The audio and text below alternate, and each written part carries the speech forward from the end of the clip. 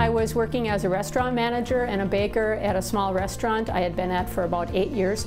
And I really enjoyed my job, but it had gotten to the point where I could not advance any farther. I looked into culinary school programs all over the state, and I didn't want to move too far from that area, but when I saw what Fox Valley Tech all offered in their culinary program, and that my son was going off to college and I was suddenly an empty nester, it just seemed like the absolute perfect time to make that decision. It was a whole new world when I first started, not working full-time and suddenly being a student and doing homework again.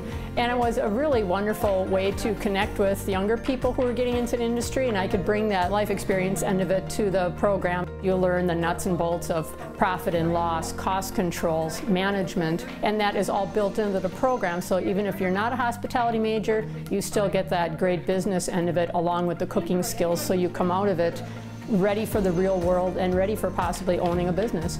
It is a very exciting irons and a lot of fires type of career that I do, but I knew I did not want to be tied to a restaurant job where I did the same thing every day. I really wanted to reach out to people, focus on wellness. So I do a lot of corporate wellness, like lunch and learns and things to help companies advance their wellness program. And that's a paradigm that's really shifting and becoming an exciting new frontier with businesses.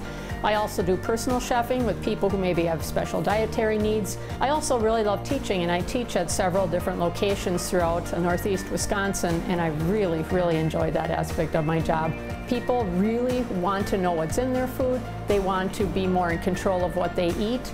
They're not caught up in media and advertising, but rather let's actually think for ourselves and start cooking with real food. Be fearless because everything you want is literally on the other side of fear. You can't stay cornered because there's always another chapter, another facet to your life that you can explore.